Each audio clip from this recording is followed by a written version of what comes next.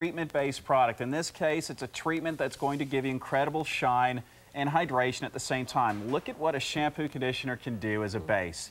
It, with curly hair, it defines the curl. We've also used the glossing cream in Kim's hair. So the combination, a great base, the shampoo and conditioner, which we have right now, and then a styling product at the end that doesn't coat your hair. Look at that. That's the result. It almost looks like we've recolored her hair, It and does. we haven't.